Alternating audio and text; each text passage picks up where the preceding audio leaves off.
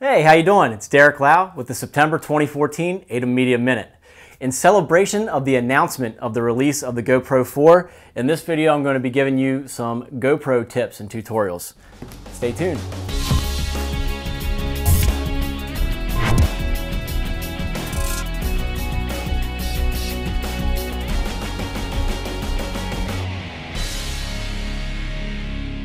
All right, so unless you've been living under a rock lately, I'm sure you've heard of one of these little guys right here. This is the GoPro. Uh, it started out as you know more of a hobbyist, you know, fun action camera to you know put on your dirt bike or your motorcycle or you know your your, your skateboard or whatever you want to put it on to kind of catch you know action sports and fun things like that. But it's becoming more and more prevalent, more and more popular, and you're starting to see it all over the place. Uh, today they released an announcement of when the GoPro 4 will come out, which will actually have 4K resolution. Now I'm not going to bore you with too much techno geek jargon right here and tell you all about all the features, but um, a lot of businesses are using them and a lot of people are implementing them into their video strategies. Uh, over the past year or so, we've been using the GoPro more and more and more to get videos in tight spaces that we can't really stick our expensive cameras, uh, places that are dangerous or underwater or muddy or things like that. So uh, if you want to learn about GoPros, uh, our first you know, lesson is going to be about some of the different mounts and things like that. So I'm going to talk to you about some of the sticky mounts and places you can put the GoPro.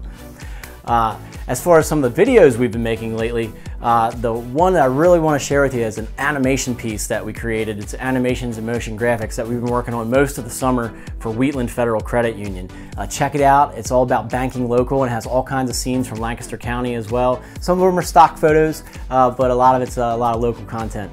Uh, the other video I wanted to talk to you about was, uh, you know, you, you know, you're, you're, getting to the fall, you're raking up the leaves, you're cutting your grass, um, you know, you're doing some landscaping. Is a video we created for a company called TurfTeq and SpecFab. Uh, they have some really cool uh, equipment for landscapers and property managers and things like that. We actually used the GoPro on that video, so so check that one out as well. And if you've been driving up and down 30 and 896 in the Strasburg and Bird in Hand area lately, I'm sure you're seeing all those New York and New Jersey license plates. You know, it's uh, the tail end of the tourist season. So the other video I wanted to share with you was a new one that we created for the Amish Village. Uh, it's called, you know, Explore the Amish Village. It has some kids running through, having a good time. There's a lot of good shots in there I, I really like and I hope you'll enjoy. Our, our blog post has to do with the pigskin. You know, it's football season. You know, Sundays and Monday nights, everyone's watching the games. Uh, you're hearing everybody on Facebook talking trash about who's going to the Super Bowl.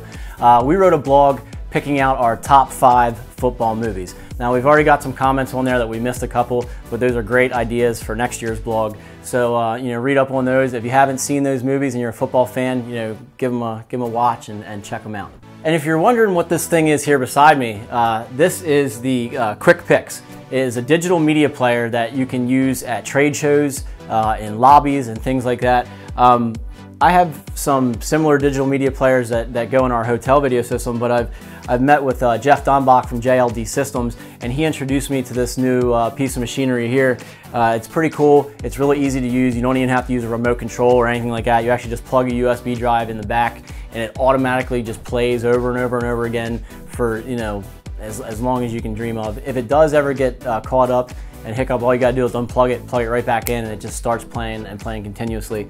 Uh, this is one of the smaller models. They have some other models as well. You can put your logo on there. I think it's really cool. We're gonna start using them with our business.